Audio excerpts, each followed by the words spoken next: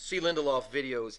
AP Calculus, volume, when the region R is the base of a solid, which sounds kind of weird, but let's take a look at this for a second. Here's the question that they give us on the exam, and what we're work, looking at right now is this section right here, if you don't mind.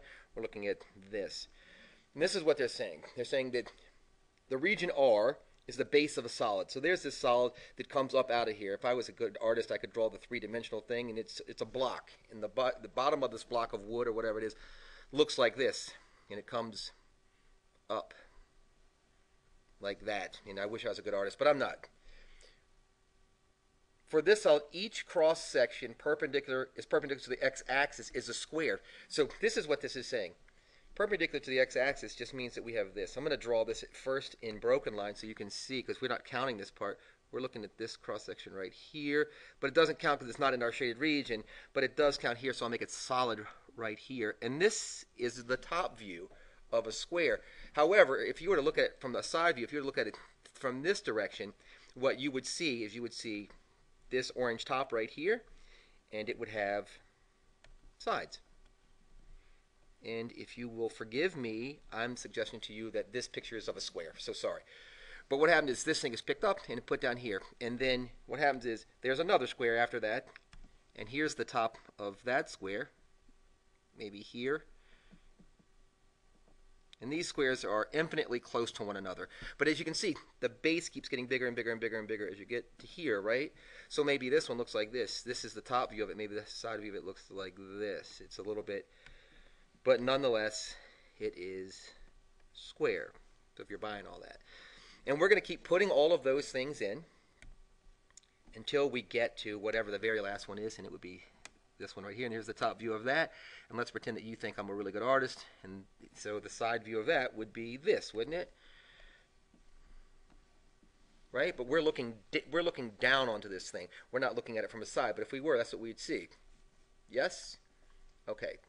So this is not a very hard idea at all to to actually come up with. All we have to do is ask ourselves from where to where, and it says here that we're going from x is 0 to x is 2. So we need to say this. We need to say that our area is equal to the definite integral. No, it's not area, it's our volume. Our volume is equal to the definite integral from 0. If you put a there instead of v, you're going to lose your point. So I never should have said that. This is a volume question, so it has to be a v there. The definite integral of, now you have to ask yourself this question, because we're going to put the top minus the bottom. So can we agree if we're looking at this? This is this curve right here, y is equal to 6, is always on top of this curve right here. And this curve right here is, isn't it 4ln?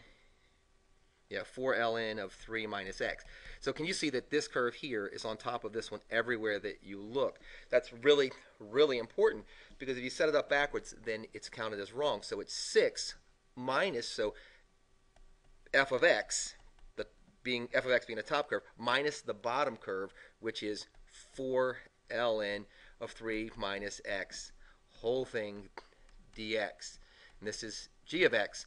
Not because I say it's g of x, because g of x, the second one we list, is the bottom. Is the bottom. And this is a three-point question. The whole page is worth about nine points, but this question itself is worth three points. And of those three points, this is two of them. This is two of them, and I forgot to square this thing.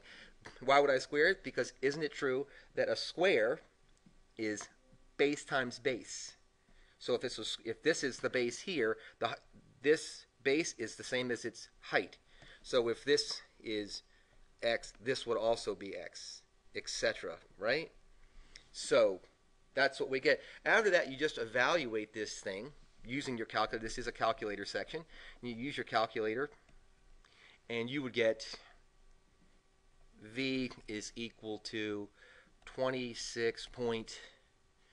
The only reason I'm showing you this is because when you give a number on the AP exam, if it's not rounded to the thousandths place, they nick your point. So out of three points, if you put this, if you're like, you know what, I'm going to round this to this, not okay.